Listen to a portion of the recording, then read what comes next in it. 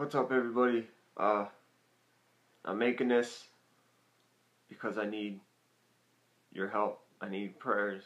I need something. I'm constantly under attack. I'm having a hard time accepting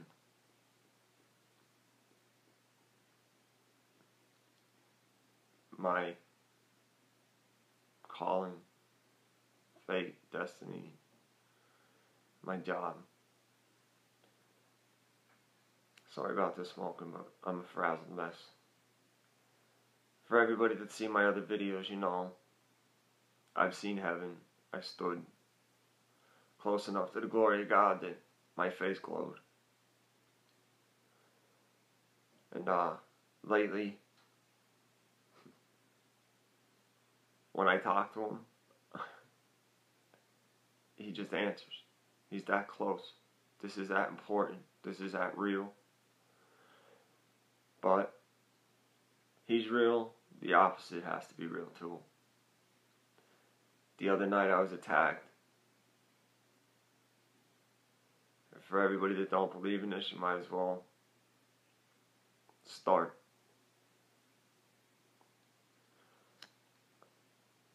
I've been getting dreams from our Father.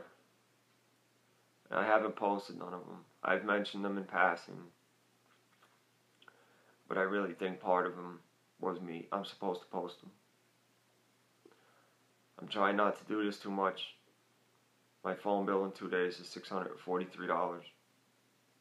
The only way I have to do all this is through my phone. But I also know that within two days, it'll show up. Uh, my son's life is in danger. Real danger. I keep getting these dreams from him, from our father, about a certain person in my life that is just here to bring nothing but death. She won't be around much longer, but I think the damage is already done. My son has Lyme disease, and uh, he's already not too healthy. He's getting better. He's kind of back to his old self, but he got it really, really bad. I'll make a video about that too. The fake doctor at Bloomsburg who spoke to my child like he was dealing with a monkey in a lab clicking, rubbing, twisting his arms around. And then when I searched his name, he told me he's he was in Lyme, Connecticut when it first came out. He's been dealing with it for 30 years with Lyme disease, which nobody knows where it came from. Our government made it. Searching. Uh, except when I searched him, no pictures, no awards, no certifications. Says he's a student. He's been a doctor for 30 years, but the only thing I could find online about him is that he's a student. Oh, and he was either Polish or Russian, so. When I called, the lady at the desk said, his name's really hard to pronounce, I've just been calling him Dr. Thor. I'll post that next, because that was just a scam.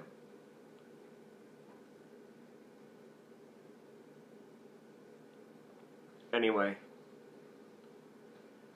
for those of you that don't believe in demons, you're in for a shock. I've looked into the eyes of people and saw hell. I was one of those people. I've been told by multiple people that back then I could scare the life out of somebody with just a look because my eyes would black out, just like you see on TV. Not the whole thing black out, but your pupils get real big and it's like looking straight into the pits of hell.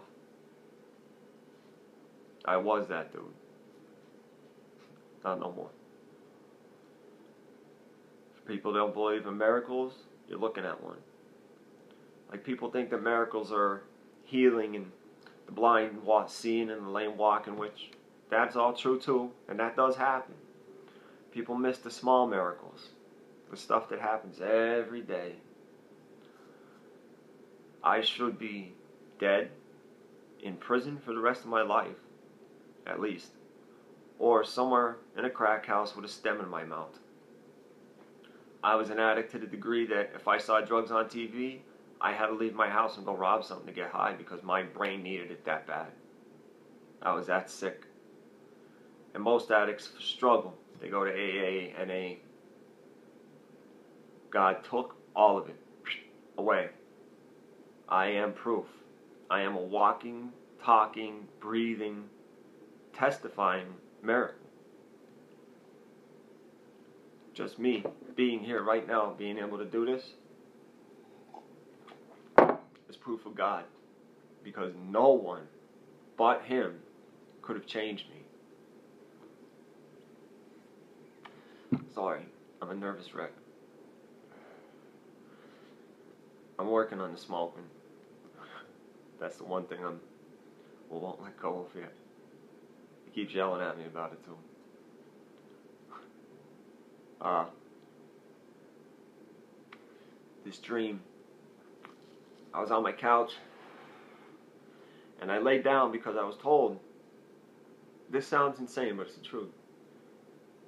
I get this voice in my head lay down, I want to talk. That's what I hear. And this overwhelming tired comes out over me. And it's not like I'm tired because I was moving around, or it's like my soul wants to go to bed. And every time it happens, I get his dreams. And just so you know, all his dreams are warnings. We're close. Way, way, way, way, way, way close. I'm waiting any second. I'm going to make a video about something that's going to probably be just as unpopular as that Christmas one, but it's the truth. And he's been pressing it on me and pressing it on me to the point where I actually could feel his sorrow at how many of his children are being deceived. And people aren't going to want to hear it. People aren't going to be happy with it. I didn't make it yet because I wanted to be sure. I asked him, please don't make me do this. I cried on my floor, please don't make me do this. I have no choice.